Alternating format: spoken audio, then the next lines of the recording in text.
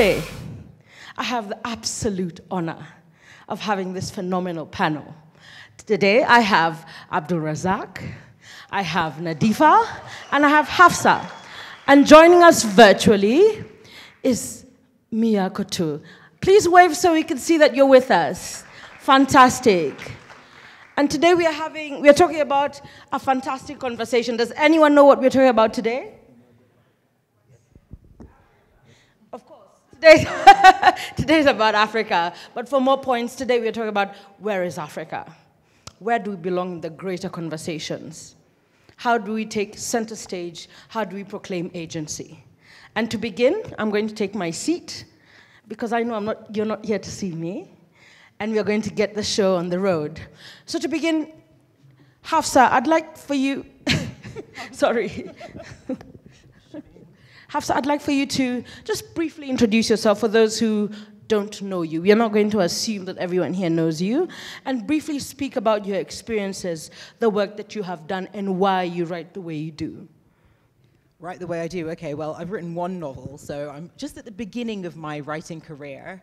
Uh, my name is Hafsa Zayyan. My novel is We Are All Birds of Uganda. Um, it's about the South Asian expulsion um, in 72 from Uganda by Idi Amin, um, and more generally just about the South Asian and uh, African experience. Um, I am myself mixed South Asian and African, but West African, so I'm part Nigerian.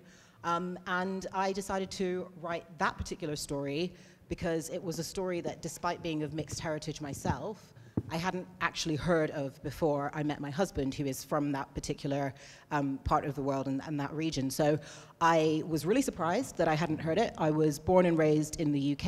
I've been mainly raised um, in, in the West, so I live partly in the States and, and, partly in the United Kingdom. And I think probably as a result of, of that, um, it's not something that I was exposed to.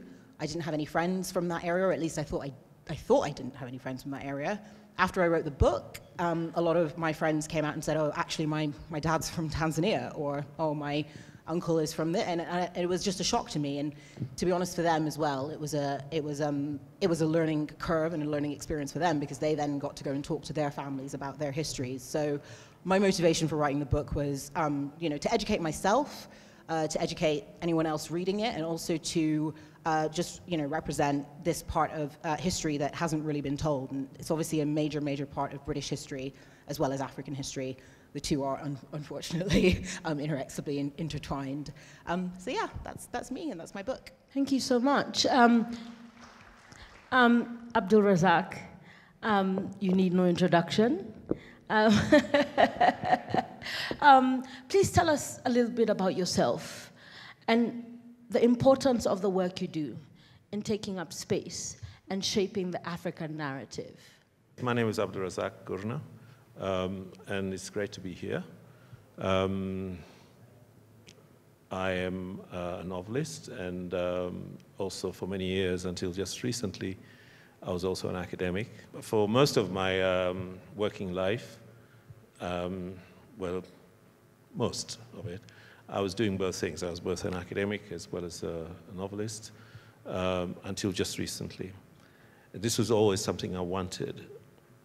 I mean, from the age of about 20 something, I thought what I'd really like to, uh, to do with my life is to, to do that, to, to teach literature at university and to write novels. And it was great that it was possible to do that.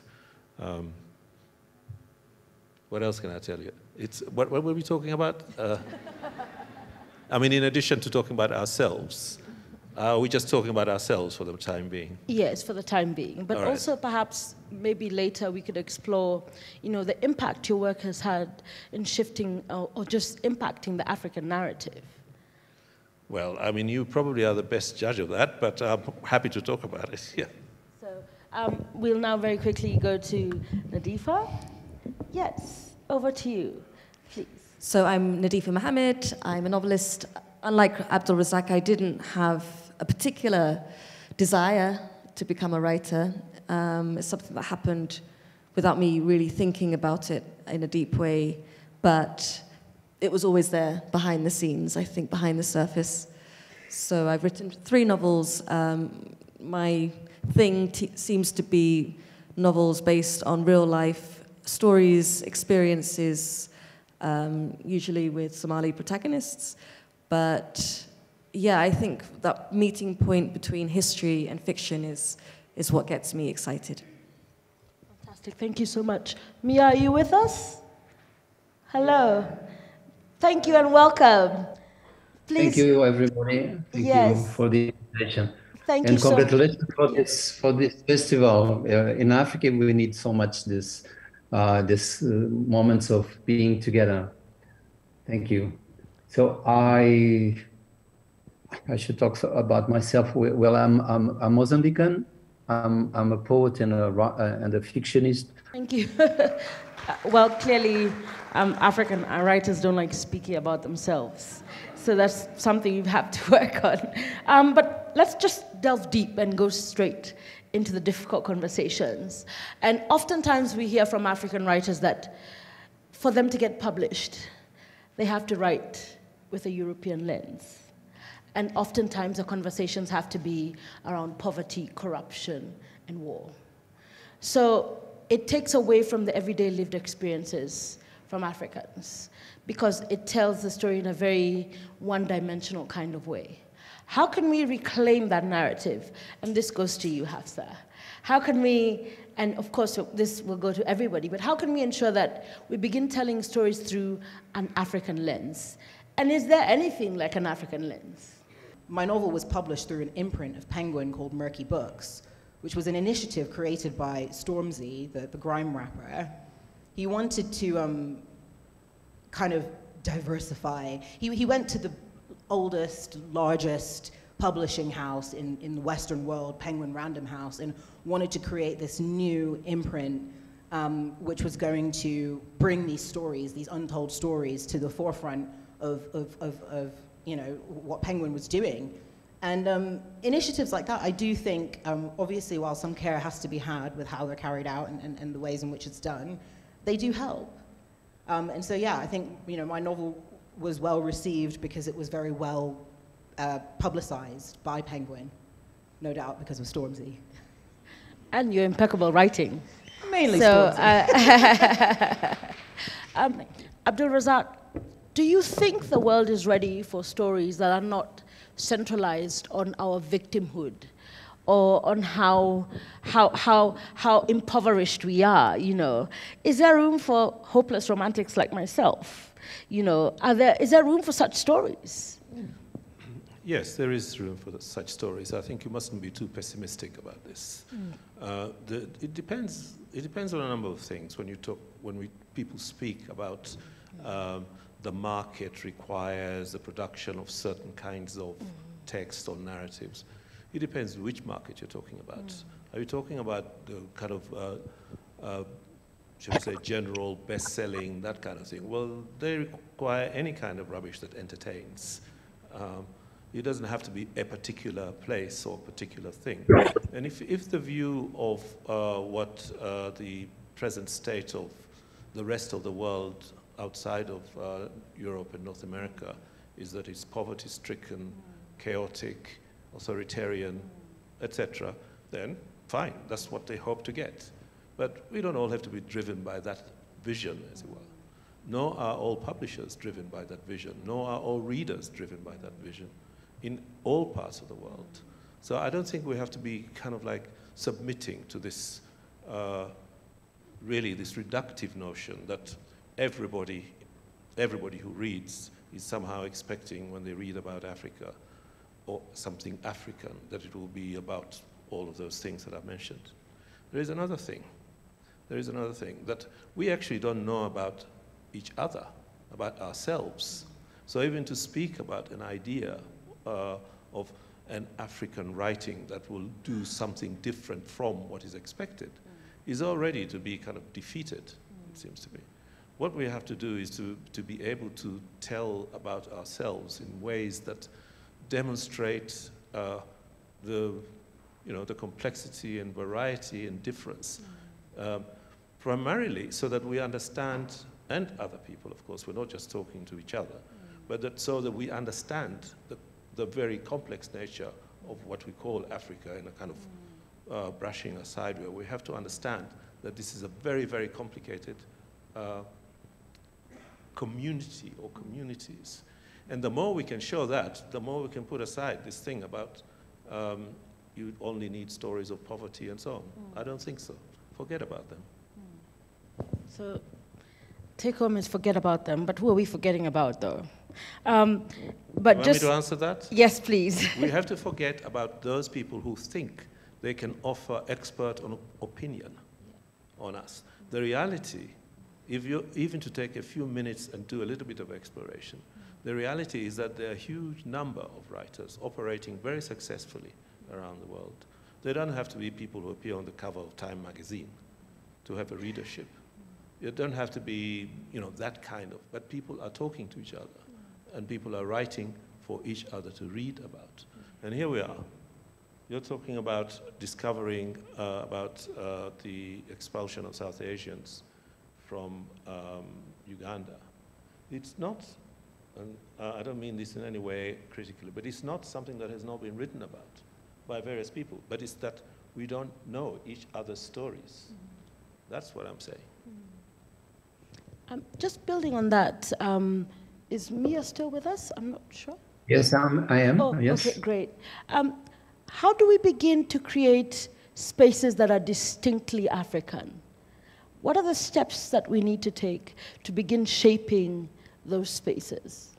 I think we, we begin to, we have already begun to, to do this. Whenever we write a true story, or something that doesn't need to be authentic in the, in the eyes of, of the others, or we don't, ne- don't need to have a proof of, of any authenticity in, in terms of Africanity or, or ethnic uh, identity. Uh, whenever we, we, we just try to be a writer, um, to tell a story, and and it's true for, for, for the author. We are we are Africans because we don't need to show, we don't need to demonstrate or to make a statement about this. Thank you. And, and just Nandi, for building on what Mia has said, um, how do you think, especially as a British Somali woman, you know, how do you create a distinctive space that reflects who you are and who those around you are? I don't know. It feels like the conversation is barking up the wrong tree. Okay. Um, people are doing all sorts of things, and it's. I think there's a there's a need for Western attention mm. that distorts everything. Because if I go to Hargeisa and someone's written in Somali a long novel from the perspective of the HIV virus, mm. that's is so beyond any um, question of what does a, a, British reader think about that. It's not for them. It's it's for a local um, readership, and that's, that's where it belongs. Um, I'm not, as, an, as a writer, actively trying to mark out space as a British Somali writer.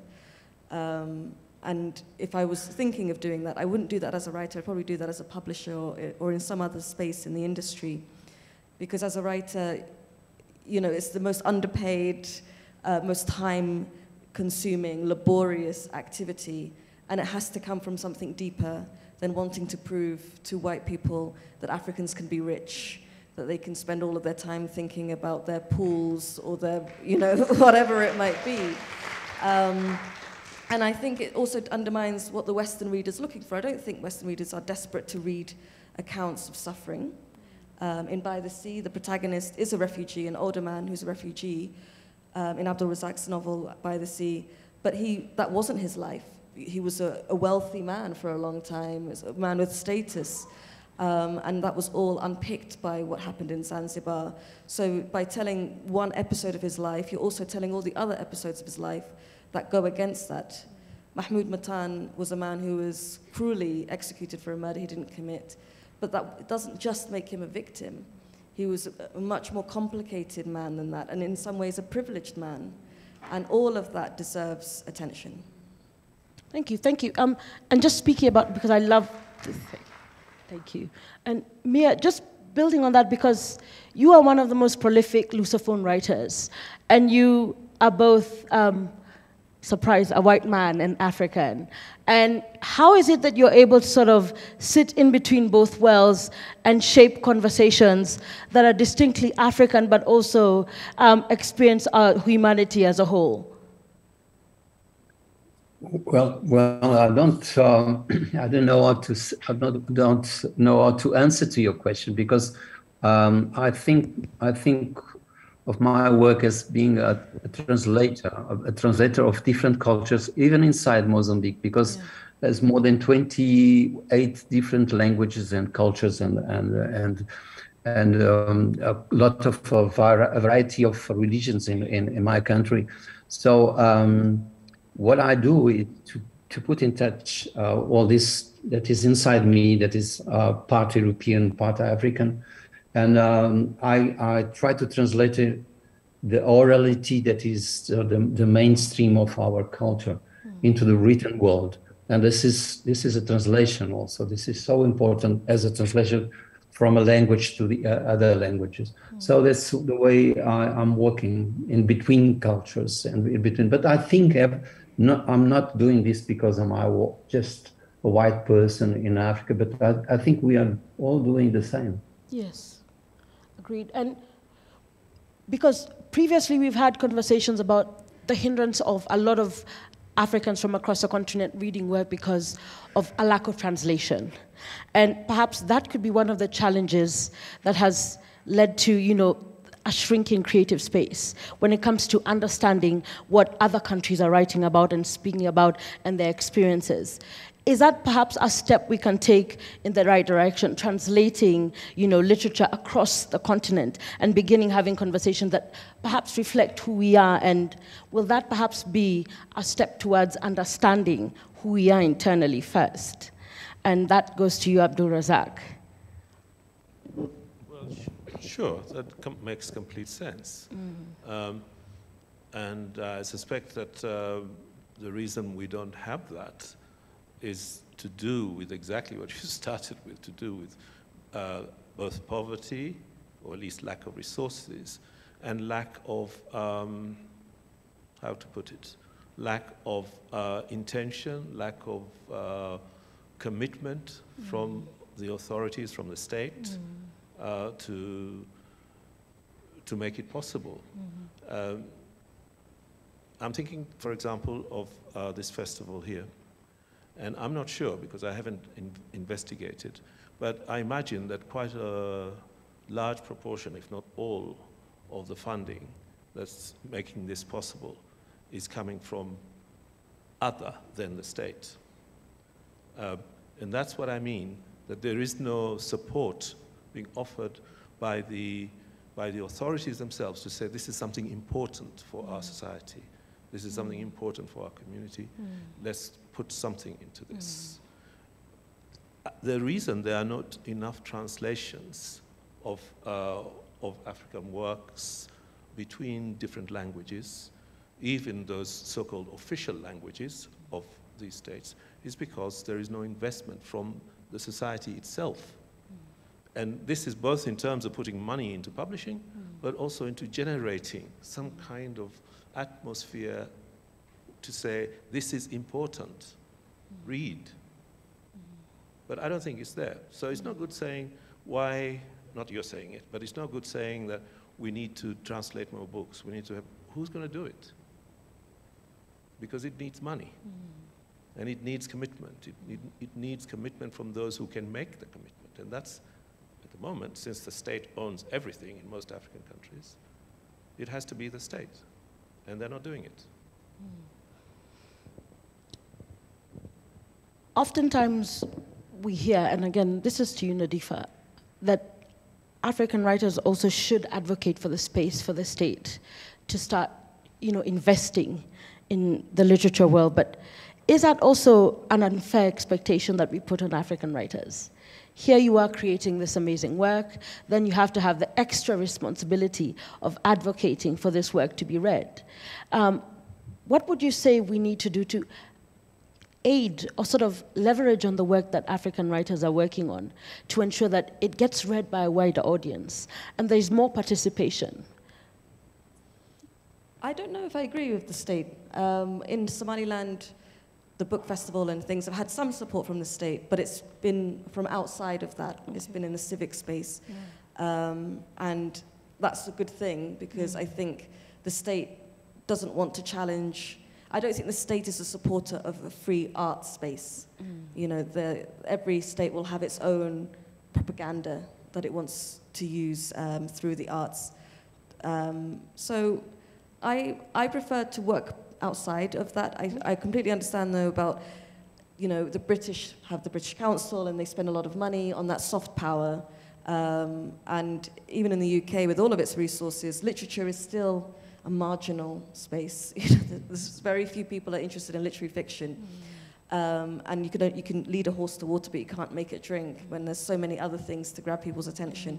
So I'm, I'm kind of accustomed to it being um, a minority sport.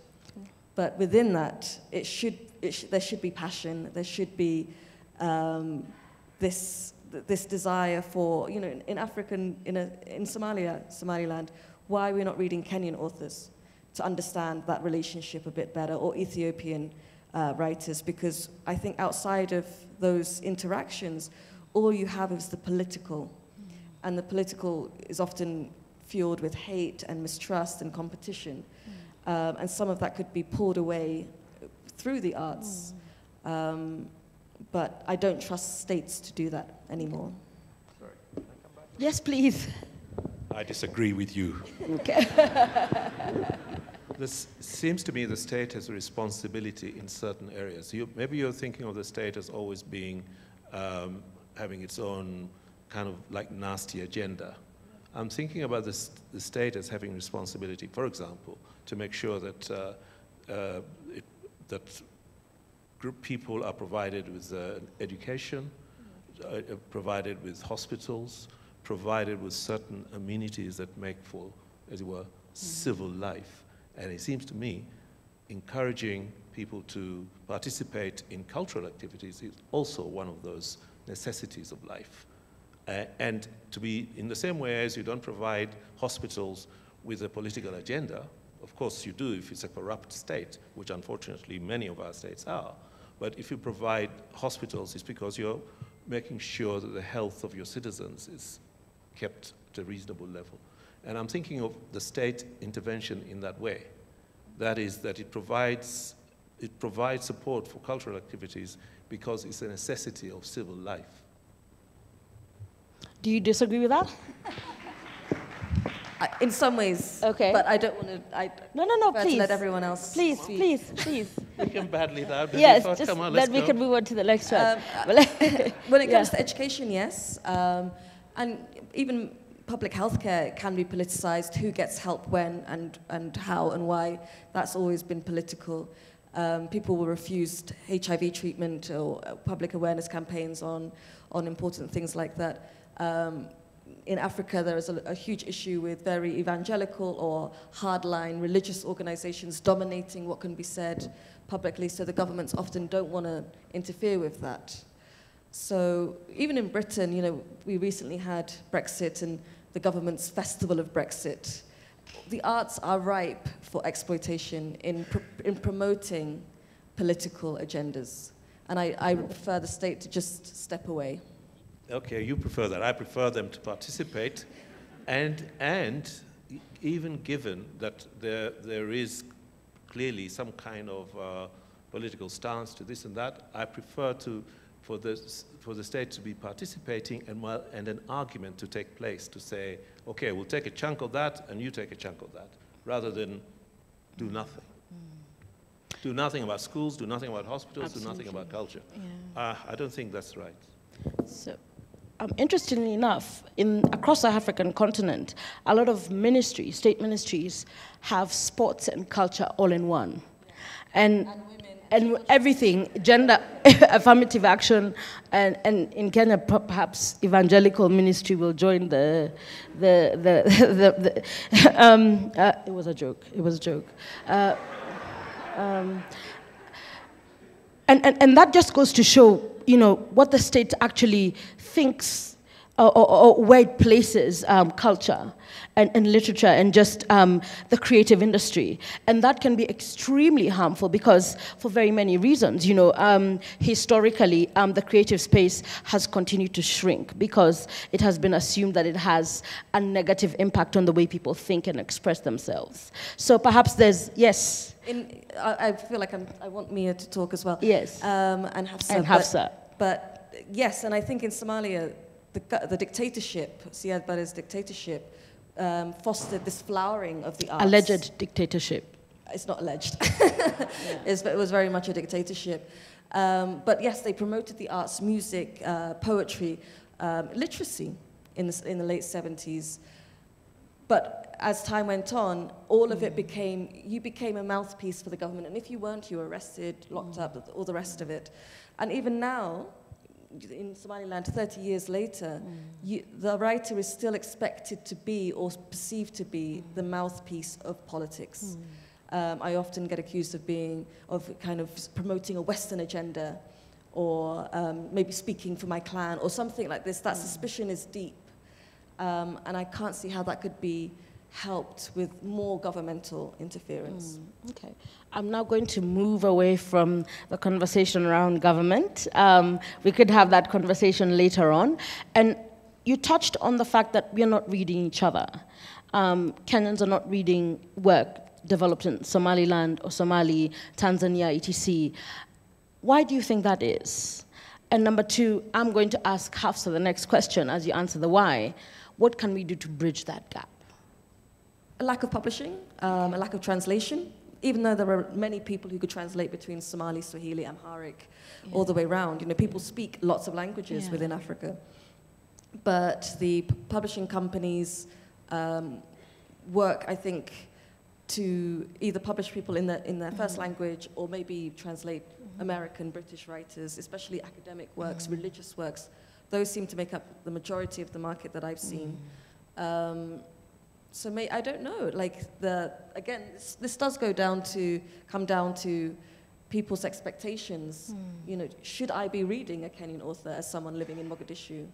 or um, vice versa, reading someone um, from Baidoa while living in, in Nairobi?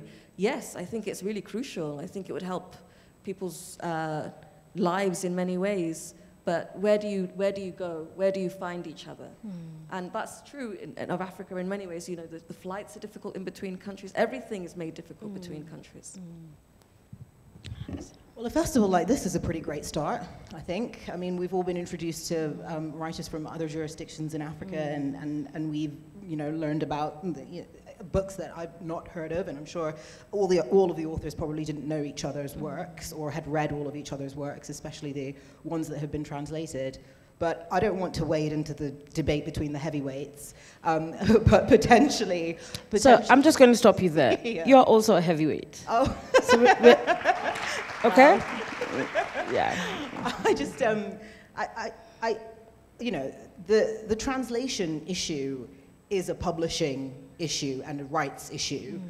Um, and they translate, work gets translated and published in other languages because there's a market for it, because there's an interest in it, because people want to read it. Mm. So how do we get people interested in reading, you know, or, you know, and you know this kind of comes back a little bit to what are we encouraged to be mm. actively participating in what what's prioritized as part of our lives and I, and I, don't want to say this, but to what role does the state have, you know, what role does the state have in, in, in, that sense? And I think that might have been what Abdulrazak was getting at when he was saying that, that there is a role for the state to play in encouraging us to participate in these creative spaces, not necessarily to be in the creative spaces, um, but to, to, encourage us as a society to be interested about each other and to uh, want to learn about what each other is doing. So um, yeah, I think the, the problem is probably demand, and I don't really know how you resolve um, that because as much as, as much as there are translators mm. available and, and out there and ready and willing to do it, um, they're not going to be translated if there's no, no market for it. Yeah. Um, speaking of translation, Mia, your work has been translated in over 30 languages. Has that improved readership across the continent and the hunger for more of your work? Yes, I don't think the language is the the uh, the, the, the, the worst, uh, the, the main the, the most important difficulty. I think, um, and trying to, to come back to the, the, the latest issue we're talking about, I think one of the, uh, the issues is that we think about ourselves as belonging to um, colonial language communities, let's say the Francophones, the Anglophones, the, the Lusophones. And we in Mozambique, we, we organize a lot of initiatives of the Lusophone world, the so-called Lusophone world. But we are surrounded by English-speaking countries. Um, uh, I'm always referring the official language, of course. Um, and we never thought of organizing something between us um, and uh, uh, and the, our neighbors. So it's something that we have assumed. Um, and part, part of the difficulties inside us, we're not connecting because we don't have this uh, urgency, this desire, and, and, it's it's it's that's why it's so important to have a festival like you you you're doing now. And this is both for you, Abdulrazak and Mia. I think another thing that we haven't explored is perhaps the intergenerational divide. Uh, do you find that you are attracting or engaging with a younger audience more, or because even when we talk about distinctive African, you know, identities, um, what a 21-year-old will identify with is not the same as a 60-year, not that you're 60, I'm just an example, a 60-year-old man, you know, will identify with, you know. How do we ensure that we are speaking across, um, you know, the, the age divide, but also ensuring that there are similarities that we're drawing? She's flattering me. uh, well, I don't know how you judge that exactly, mm -hmm. uh, but if it's by impression, then uh, actually I find that the young people are generally quite excited about the, uh, the books, that they, the way they speak, mm. the, they study them, mm. and they're excited because they're studying them or discovering them. Uh, they seem very energetic about that. Uh, and of course, it's always wonderful, one of the wonderful things about festivals is that you meet readers, which generally speaking you don't. Um, of course, there is email, but only very few people are, um, uh, uh um, well, brave enough to send an email to somebody they don't know. I never do. I don't know how many of you do. But yeah, one of the things about festivals is you meet people, and my impression, if that's anything to go by, is that it's nothing to do with age. Great. Um, Hafsa, do you agree that just, yeah? Yeah, um, I don't think that the age or the generation is necessarily reflected in the writing, or if it is reflected in the writing, it's not necessarily something that the younger generation just aren't interested in knowing anything about or don't want to engage with um, because it's of a different generation. I mean, to the contrary, at least, you know, in, in England where I've grown up, there's now this kind of renewed interest in learning about our histories and, and, and reading from, you know, generations back. Um, and again, that's again something that my story talks about. One of the major themes is this kind of inter intergenerational divides. Um, but yeah, I'm, I'm not sure that there, there's much of a difference if a, a good book is a good book. Mm. Um, and it doesn't matter by whom or which generation it was written. Mm. Um, I think everyone can still engage with it. Mm. And do you think that younger people are engaging more, or is, is there a decline in, in, and again, also to you, Nadifa, you can chime in. You know, do you think there's a decline in, in, in, in readership and engagement from the younger generation, or is that also a negative narrative? It is slightly pessimistic, although obviously has some truth, because the younger generation has access to things that we didn't have access to when we used to read books. Um, but I think it's also potentially slightly false. I mean, the statistics that I've heard at least are that readership isn't really declining.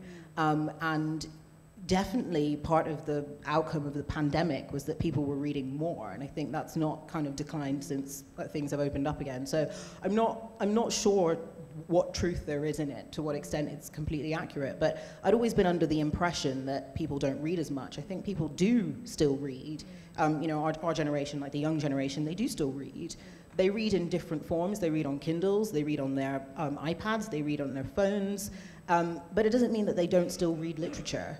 Um, and they're not still interested in it. And like I said, I think there's been a kind of a, a wave or a trend of people wanting to get back into reading again um, during and, and post-COVID. But that's just my impression. I don't know, Nadifa, do you think differently? It's difficult to say when it comes to reading, but I think there is generational shift happening when it comes to writing.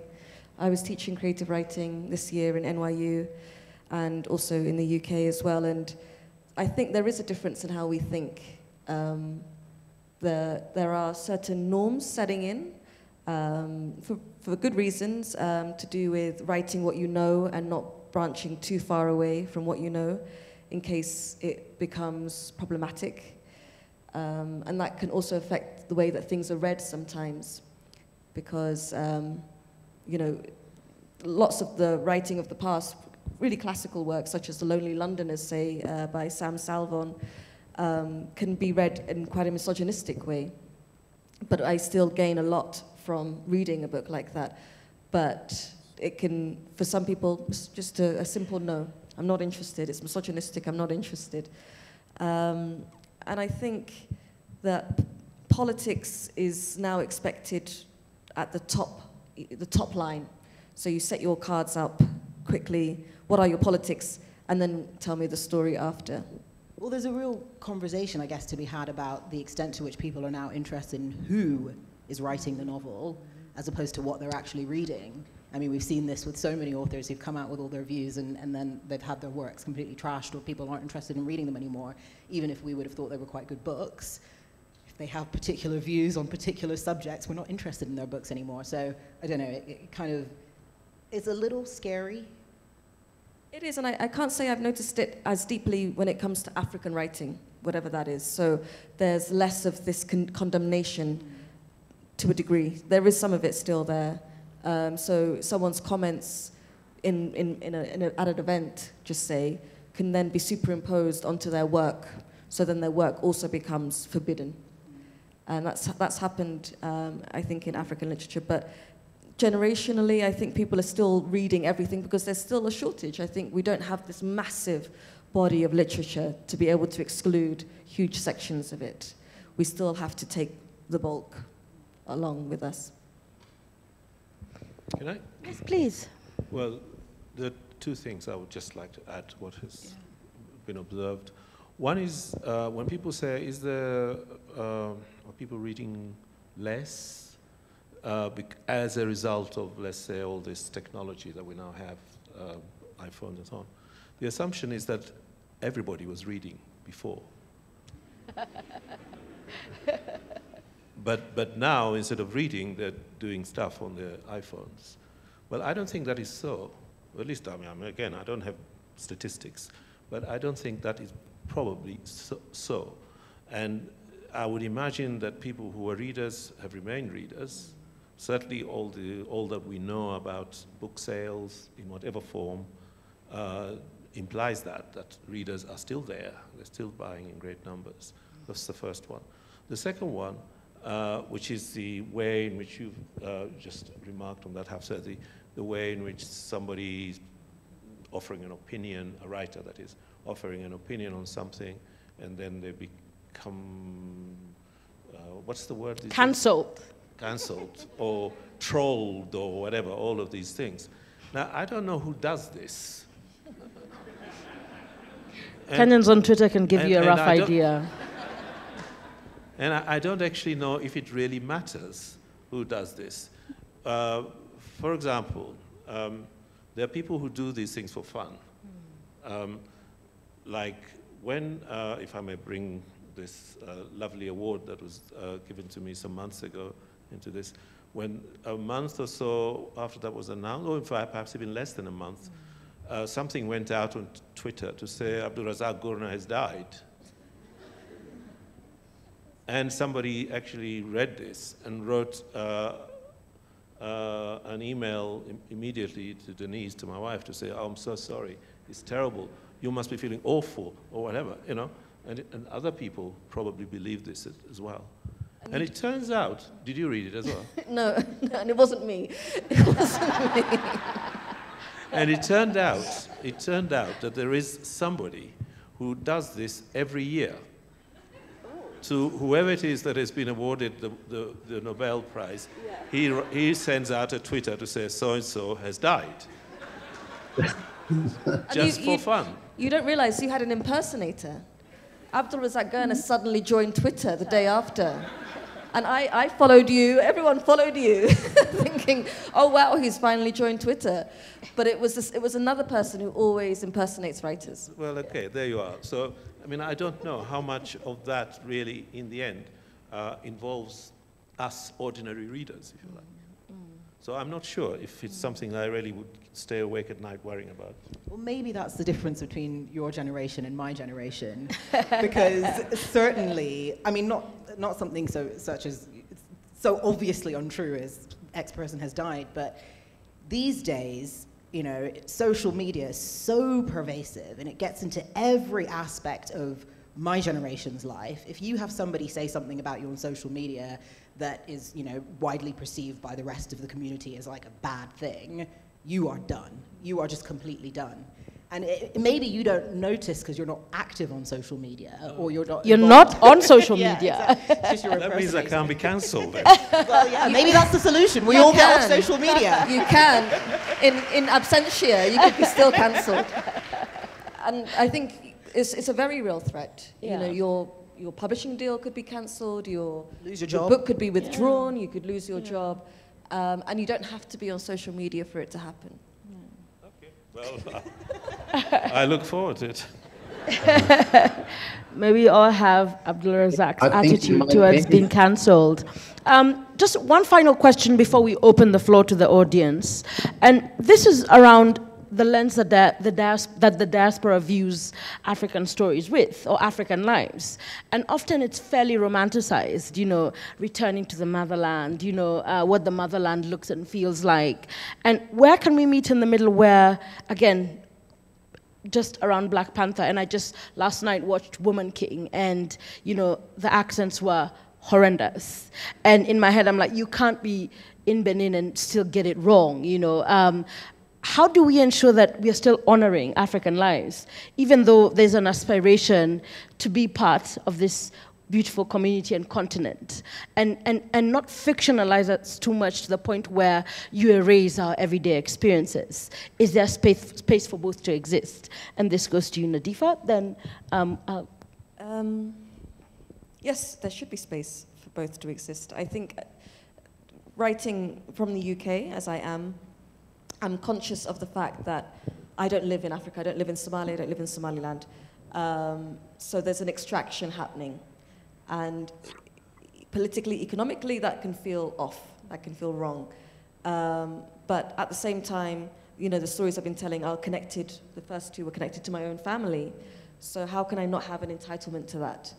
Um, and with my father's story, it was hard. It was a hard life. It was a hard story. And my gut instinct was to kind of minimize some of the hardship because I didn't want to think about it. But he kept saying, no, no, no, I was poorer than that. I was hungrier than that. Make it more, make it more. Um, and not have this shame because I think there is this shame. Um, there's often, you know, on Twitter and various places, there could be an outrage when Africa is presented one way or another, sometimes very rightfully, such as when there were the attacks in Kenya and the dead bodies were splashed on the New York Times. Um, but other times it's, well, this is the reality. There, there has been a suicide bomb in, in Mogadishu. And yes, there are other things happening, but let's not pretend this isn't happening either. And that push and pull between presenting a new face, a different face, a happier face, a positive face, versus the reality that's also there and is deeply important to the person who's just been blown up and their family and you know the people injured in that in that accident in that out, outrage. But um, yeah, I, I understand. I understand both sides. I understand the desire to run away from the trauma, but I think for me, individual as a person, I prefer to look at it, examine it, be with it, see what it means, look at each individual story as deeply as possible. Thank you very much. That's a great note to sort of open the floor to our audience. Um, I'm going to begin by taking three questions. Um, oh, that was quick. Good afternoon. My name is Radha Upadhyay. Um, I'm a lecturer at the University of Nairobi and I'm an economist, but uh, really interested and very excited to be here. I found the um, conversation on this literature as necessity of life and the debate really interesting. Uh, I think I want to expand the question to ask how can you make it broader, broader than the state? I struggled a few years ago to, to try get a foundation that gives millions of shillings in textbooks every year to Kenyan schools to say, please, can you just join the Kwani books? It won't add to your total cost. Um, but it was almost like, no, no, we don't go there. We are just providing textbooks. So how can we eh, kind of uh, make a broader appreciation of how literature is like a necessity for civil life among others in civil society, not just the state. Okay. Thank you. Oh, should I? Yeah.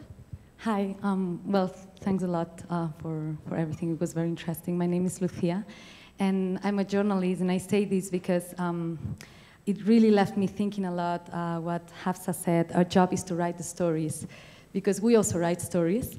And, but I was wondering how, how is it like we write stories and then it, it, um, it belongs to the people and it becomes history somehow, no? Like in some years they will read the newspapers and they will think about the past based on how we wrote about it. But you also write stories. Uh, you write fiction, but still those are stories. And I was wondering how, how our job and your job is different and what can we learn from you as journalists? Like maybe we have less space for complexity and for nuance. And yeah, I'm wondering what are your thoughts from the four of you uh, about that? From the four of them? Wow. Okay, great. I okay, mean, or so, yeah, whoever wants to talk. Yeah. So, um, okay. yes, please. We'll take one more question and then we'll come back to you in the next round. I promise. Uh, good afternoon, everybody. Thank you for being here with us. My name is Lucy. I run book clubs. And my question is to Abdulrazak. Your book, Paradise, divided the book club in a very interesting way. One group um, didn't, not that, was traumatized by the book because this poor child was going through trauma after trauma after trauma. While the other side of the book club loved it and read it twice, finished reading it and reread it again. So my question really is to the traumatized group, is for the traumatized group, where there was no light. Was this intentional or, you know, because at the end of the book, the boy just runs off and goes off, but all we saw was just one long night of savagery that they were going through. Thank you. It sounds like your book club needs some therapy. Um, so we're going to start with Mia. You know, Mia, hi. Um, the first question, especially around how can we ensure that others are involved, civil society, that literature um, takes up the necessary space in society. How can we create that space, and what conversations need to start taking place? Can I choose the second one I mean, the, about journalism and literature? because I think I'm more at ease talking about this because I, I was I've, I've, been a journalist during more than 10 years and and uh, for me journalism was really an important school and uh, I learned more than writing to someone. Uh, this perception of uh, the presence of um, someone uh, on the other side of the page that is really really really important. So um, then to become a writer I I, uh, I felt you know the obligation of killing the, the um, killing the, the, the, the, master, which was uh, the journalism. So, uh, I mean, in, in the case of Mozambique, journalism was so linked with uh, producing not just stories, but uh, history, because the main part, most part of the academicians and, and the writers, they come from the, the journalism. Thank you, thank you, thank you so much, Mia. And perhaps, Nadifa, you could touch on, because you are very anti-state, you know, so how could we ensure that we are engaging the civil society? What ingredients need to be in, in place for this to take?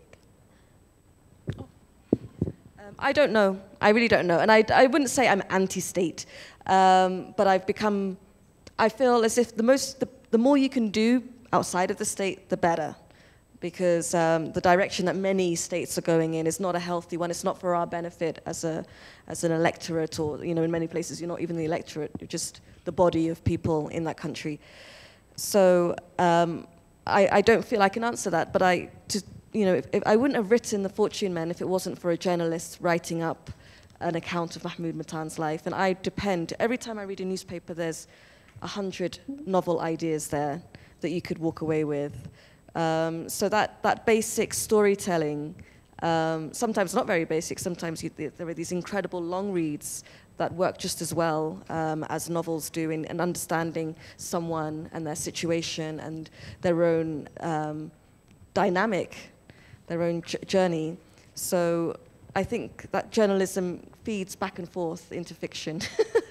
um, there are newspapers that that create our circumstances by writing fictions. In the, in the UK, newspapers have a huge power, um, political power, because they can take an MP's life and get them thrown out of Parliament, or um, you know, they'll turn a, a, good policy that's trying to help people into something dirty that's that's um, abusing the the rich at the, at the you know, for the expense of for the poor. So there's a lot of power in journalism that maybe isn't as obvious in fiction. Fiction is a softer, quieter thing, I think. Um, Hafsa, maybe you'd like to add on to, you know, what journalists can learn from storytellers? Thank God you didn't ask me the civil society question. Everyone wants to do question two. Um, yeah, uh, I, I, mean, uh, I think what the question was really, um, what's the difference between our jobs? between what you do and what we do. And I agree with what Nadifa said. Um, but also, I think, you know, there's a question as to what kind of responsibility do writers have that journalists have or don't have, and, and vice versa. And, you know, when you write fiction, leave, leaving aside nonfiction, but when you write fiction, every, every, every story that you write, people who read it take away something different from it. So it's like a hundred different stories or a thousand different stories. It's, it's as many stories as you have readers. Um, there's not one single narrative with a work of fiction. Um, whereas with journalism, you know, people are reading it and assuming that it's correct and accurate and factual and you know, you have this responsibility to do your due diligence, and you do have that to some extent in writing fiction, especially if you're writing about past events like Nadifa or, or I or even Abdulrazak. But you, you, you know, you have some liberty to play with the truth, and journalists shouldn't have that really because the the the, the population that's consuming you know media, um, newspapers, uh, they they think what they're reading is, is, has been researched and is thorough and, and, and should be accurate. Um, and so, yeah, I, th I, think there's probably a, a, slight difference between what we do in that, in that respect. Thank you. Um, at Africa No Filter, we say if you're not going to write a nuanced story, don't write it. Because oftentimes we find that when stories about other countries, especially with in the global north are written, there's room for nuance and complexity. But oftentimes that is forgone when you're writing about African lives. So perhaps we could take a bit more time when we are writing about us and telling our stories. Um, and engage more with the people whose stories you're actually telling. Um, Abdulrazak, you have the fortune of answering both questions. The first on civil society, and the second one, you need to help Lucy's group, man. They, they, they, they need help in relation to that civil society question, or rather in relation to what I was suggesting, uh, that it was necessary, I think, for, for the state to be involved in encouraging and in promoting uh, culture. Um, what I mean by that, and this is why it's not exactly as you were reading it, what I mean by that is not so much that the state steps in and gives money to particular bodies, but it might be to, to create uh, to, to create a body, for example, that does this in a relatively um, self-interested way. That is to say, interested in its activities rather than in promoting uh, the agenda of the government. Of course, this is not always entirely possible, but to the extent that it is possible. I'll give you an example. Uh, one of the ways in which um, the state or any kind of uh, body with lots of money, one of the ways in which, in which it can uh, promote culture is, for example, here's one, or another way of allowing people to know about other writings from other places is, for example, a book fair, or, for example, uh, giving money to uh, publishers, certain donations or something like that, which might be on the basis of we are, which happens in many countries, we are wanting to translate a book by a Somali writer, Nadifa Mohamed, but we can only raise 10,000 pounds and we need 25,000 pounds. Here's a body you can apply for funding to, for a specific project, that kind of thing. I don't mean that it sort of uh, does parades and flags and whatever, but to be sensitive to the needs of these cultural communities in whichever way it is possible to do so without interfering in what they do. This is what I have in mind. And I think it's possible to do that without completely possessing these bodies and instructing these bodies in a big way. And, and if we can't do it to ourselves, then we can't go on, we just have to go on moaning and saying books are not translated. There is no way in uh, economies that are so, like Tanzania, say, quite, not quite so perhaps in Kenya, not quite so perhaps in other places, but in a country like Tanzania, everything belongs to the state. And if the state does not intervene, the education system, the hospitals, and all sorts of other necessities of civil life decline, as indeed they have. So that's what I meant to say. I'm not advocating state interference, but rather state responsibility.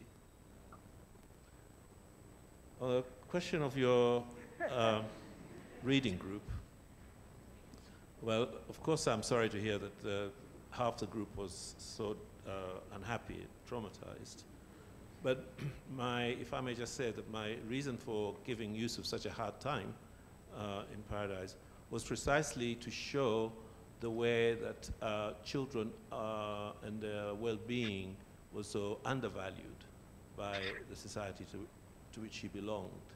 Uh, and in order to do so, of course, the young man has to suffer for that to be demonstrated. But uh, at the same time, those who did uh, read and read again, I presume, would have seen that there was a degree of uh, attention and care uh, and tenderness for his feeling, even while he was going through these processes. So it's a way of also describing how people survive such torments and traumas rather than to say it just goes one dark thing after another. So there may be a chink of light that the, your group missed. So we're going to take another round of questions. Um, we were very heavy on this side, so we're going to try and there's a question there. Yes, actually, I'm so sorry, sir. You were the first. Yeah, one hand there, one there and one at the back. So I'll request you stand so they could see you and locate you faster. Um, yeah, that would be great. Yes, please. Thank you so much. This is terrific. I feel like a voice in the room that's missing for me is the voice of, and I don't expect you to be that voice, but it's a question in case you have any comment on this. It's the voice of teachers in high school and university that are teaching literature and African literature in Africa like I would like to, maybe they're in the room. I'd like to hear from them. Mm. You know, what are, how are you getting your students to read authors from across the continent? What are the challenges? Who's supporting you? Um, and maybe in a future festival, maybe we need to have a panel of these teachers up here to hear from them. So if anybody has any comments on that, uh, feel free. I'm interested in uh, trying to understand the whole question of identity mm. and integration. Because apart from uh, the Nobel laureate uh, Abdulrazak Gurnah, who was born in Africa and he left this continent when he was pretty a young man, my two sisters were actually uh, born and grew up out there in the West. Oh, Nadifa, you, you are born in Somaliland? Okay, but the question is this. Uh, the, we are talking about where is Africa. The assumption is made that we are talking from the point of view of being Africans. And for you to come to that identification, you must have grappled with that question of identity as a person. And then there's that element of integration, because identity, the way I understand it, is not just about where you are born or where your parents came from. Identity would mean even the social strata, your education, your travel. So how do you deal with that question of identity that you you'd be happy to be identified as an African and not as a British, as it were, and write about the British that you live with every day.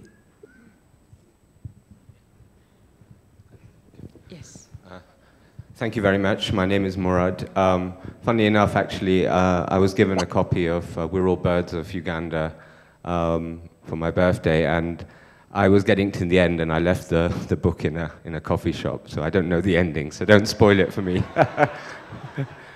but actually, uh, whilst I was reading it, and then I read about you afterwards, it was quite interesting because you wrote about a culture that's quite different in many ways from you, um, you know, overtly. Um, and you picked up a lot of the nuances on the South Asian experience. So I assume that actually you, you had that heritage. So it's interesting that you were, you were able to capture that so well. And then to the other writers, um, I guess it relates slightly to what the gentleman was asking, but um, when you're writing about Hargeisa and you're writing about Zanzibar or Dar es Salaam or you're writing about wherever you're going to go next, um, how do you kind of uh, uh, how do you attach yourself to a place where you're not living immediately and how do you conduct your research into the characters if you see what I mean. I'm not saying they're anything less authentic because you're writing from those places, but I'm just like, how do you relate to the places when you're at a distance? Thank you. Thank you so much. We're just going to take those three and then we'll come for the final round, I promise. So we'll begin with a question of identity. It's heavy in the room, you know.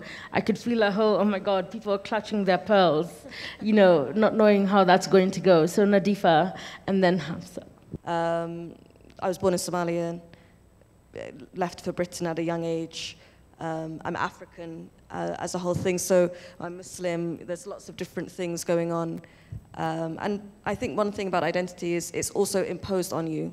Um, people identify you for your sake. They'll tell you what you are. And then it's a question of what do you embrace and what do you take forward and, and take seriously in your life. Um, and I don't think, you know, I, I think I'm getting too old now to care um, everyday life is, is about being a good human being and living to your ethics, living to your capabilities, um, and whether you're Somali, Ethiopian, Kenyan, whatever you are, that doesn't change. What changes? Um, I'm interested in my, my history and my family history, in um, the music and all of these things. But I do, I constantly am aware of the fact that it's an accident of birth.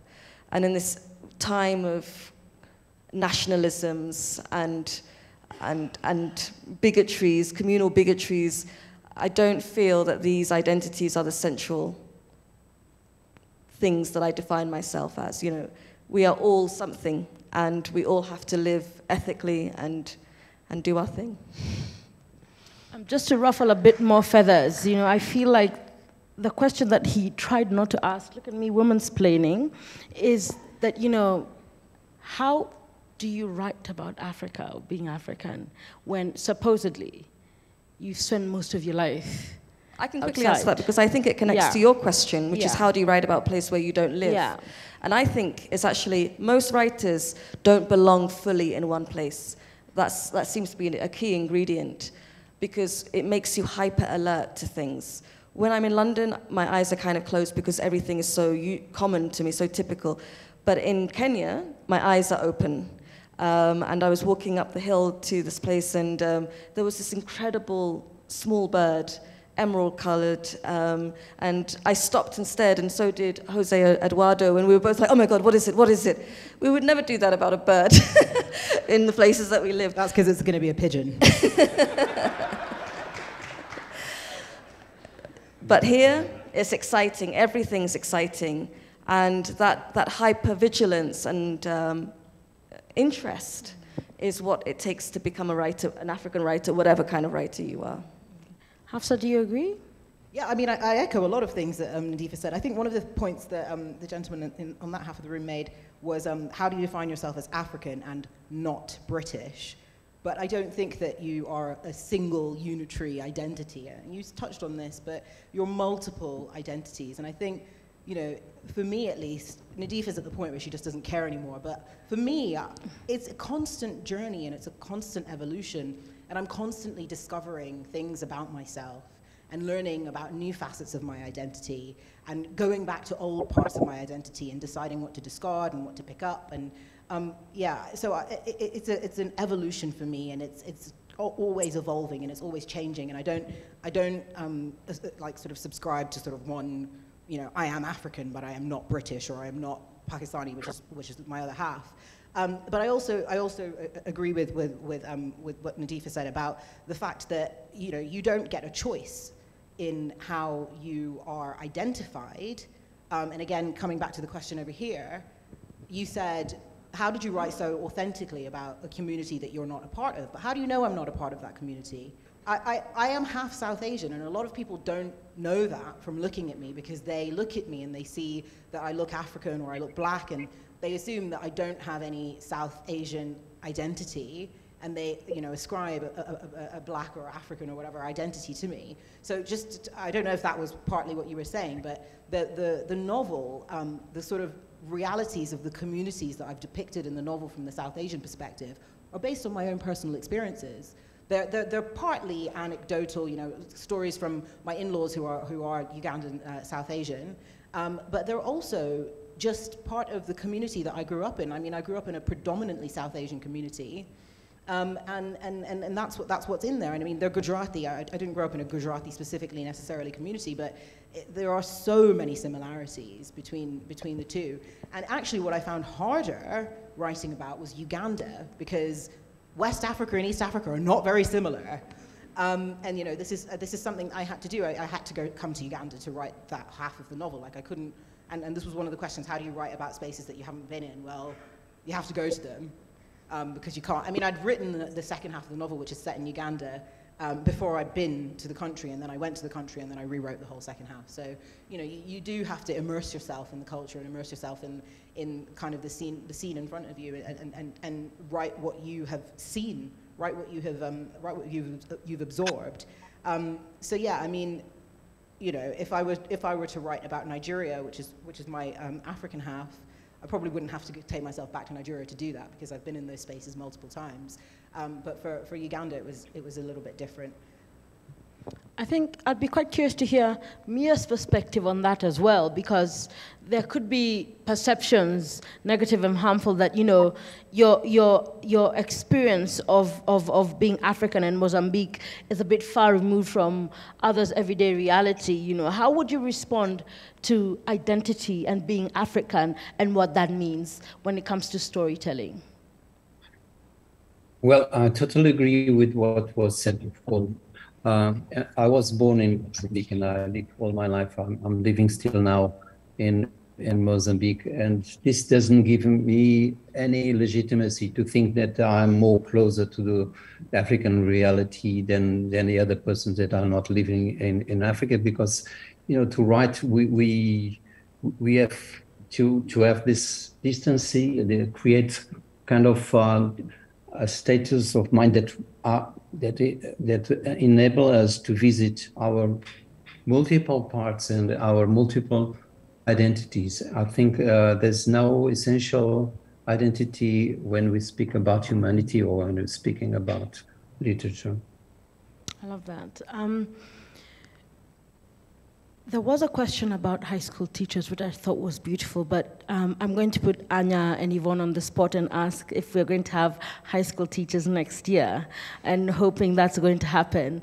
Um, I'm not going to point where Anya is in the crowd, uh, but she's around here somewhere. You can direct that question to her, but I think it's a very important question because, you know, it would be great to see where we go with that. I'm going to try and be unlike African governments and keep my promise, you know, for one last round of questions, but I'm just going to take one question. Thank you very much. I think this is a, this is a very engaging conversation. And I have a question about uh, reimagining uh, Africa, recreating Africa. Professor, are there stories still unwritten that compete uh, in, in, your mind about uh, reimagining Africa and also to my sisters? What is that journey like? How do, how do we move with the reimagination of Africa? Because, you know, from memories, we go to the future. How does this future look like in the stories in your mind that maybe are not written as of yet?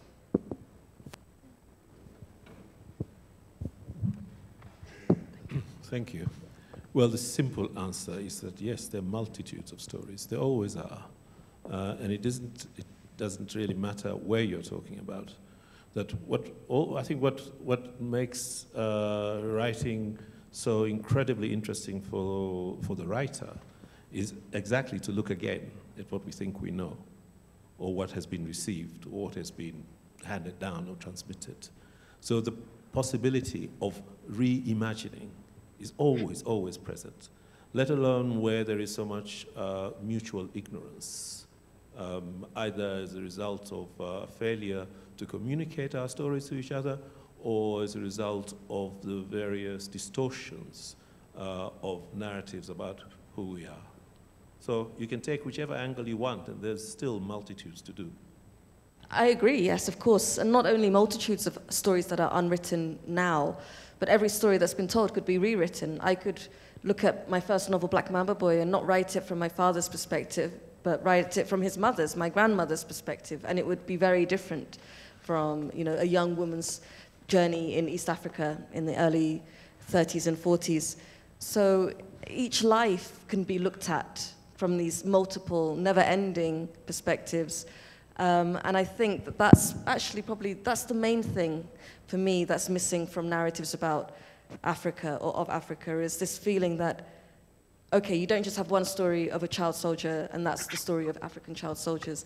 It's, you can do the same thing again and again and again and again and only increase your limited, it will only ever be a limited understanding of something, but um, that value given to one person's life is, for me, the most important thing.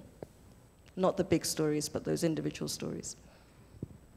Um, we're about to come to a close, and the final question is to all of you, you know, how do we expand the horizon of what Africa is and what it isn't when it comes to creative writing and storytelling? Um, we'll begin with you. Hafsa. I mean, we've covered a lot of that ground in the conversation so far, but um, I think I think the answer is just to keep keep keep reading and keep writing and keep exchanging these stories. I mean, I, I grew up reading. I grew up reading African myths and legends. This is a book that we had in our shelf at home that my parents had probably bought in an airport or something and been intrigued by the fact that it said the word African on it and thought, yay, mm. let's buy this. And, you know, I much, much later found out that it was written by a, um, a woman called Kathleen Arnott, who's, um, you know, she was a white missionary in, in um, uh, Nigeria. And I, I, I'd, I'd taken these stories as, you know, my like African folklore and tales growing up, and then I felt a little bit surprised um, that you know su subsequently when I when I was older and realized that, that it hadn't actually been written by someone who who was actually telling the traditions of their ancestors. Um, but we need to do more of that. We need to make sure that we keep writing our stories and keep getting them out there and, and keep um, having them having them picked up at the airport by by people like my parents. Great. Abdulrazak. Well, I, I, I, don't really think I can add very much to that, except mm. perhaps to say that um, surely that is what has to be done. You have mm. to keep doing it, you have to keep reading, you have to keep writing, you have to keep uh, refusing uh, certain stories and constantly uh, contesting them. Um, and I guess also amongst ourselves, amongst uh, our communities, we also have to learn to be more tolerant, uh, of other stories, of other ways of looking. So it, there are many different dimensions, as it were. Both the dimension of just simply uh, proselytizing, saying more, learning more, but also just learning to be less doctrinaire and less narrow-minded about uh, the truthfulness, authenticity, or whatever, all of these things. Mm. I love that.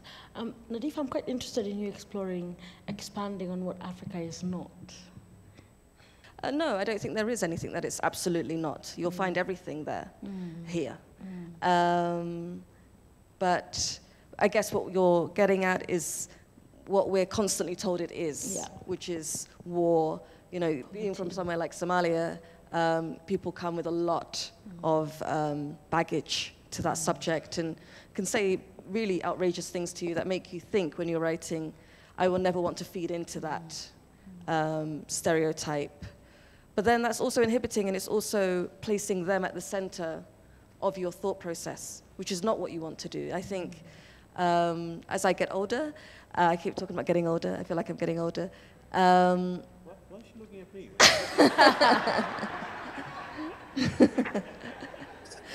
um, I feel uh, literature should be unruly. It should be beyond um, custom and, and control and dictatorship. And if you're constantly you know, fighting the good fight and saying to people, oh no, we're decent people, Somalis are peaceful, blah, blah, blah, um, you, you're not respecting yourself. And I think that writing should be primarily an act of self-love.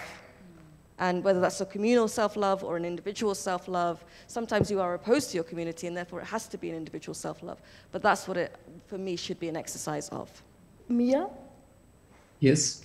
I would love to hear your final thoughts on expanding the horizon about what Africa is and how we yeah, can encourage young writers, especially who are in the crowd today, to tell different and diverse stories about the continent. I think what we, I would say to young writers is to encourage them to question about um, the so-called reality, the tradition, the unique identity, and uh, about the need of rethinking our own past. I mean, this simplistic and ideological portrait that have, someone has built for us as the Africa, uh, on, uh, the African past. That's thank you, thank say. you so much. Um, oftentimes we say that if you spend time trying to counter negative narratives, you actually end up reinforcing them. So sometimes it's better to explore new narratives and new stories. It's been my absolute honor having you today and having conversations with you as panelists. Um, I would love for you to all just stand up and give these amazing panelists a round of applause.